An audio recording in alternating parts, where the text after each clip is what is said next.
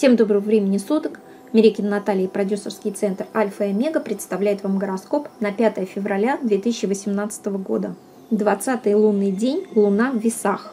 Сегодня понедельник, и этот день очень благоприятный для активных действий.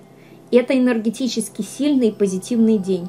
Есть шанс добиться успеха, а также решить давнишние проблемы. День хорош как для бизнеса, так и для творчества.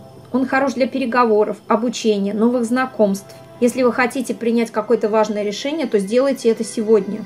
Сегодня день благоприятный для предпринимательской деятельности, купли-продажи, торговли, а также для начала лечебных процедур. Любые дела, связанные со строительством и ремонтом, а также с недвижимым имуществом, сегодня успешны. Сегодня прислушайтесь к себе и обсуждайте все вопросы спокойно и рационально. Вечером стоит посвятить время себе и сходить в театр или на выставку. День скорее благоприятен для всех знаков зодиака, особенно для тельцов, близнецов, раков и весов. Приходите на наш астроэзотерический марафон 13 по 17 февраля и узнайте, что может дать астрология для вас лично.